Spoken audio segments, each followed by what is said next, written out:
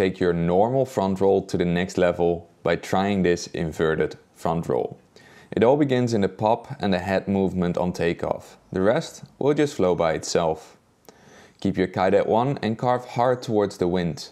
Next you use this energy to pop off the water and throw your head towards the rotation. If you popped with enough energy, your board will now follow and go higher than your head, making it an inverted front roll. You can slow down your rotation by extending your legs.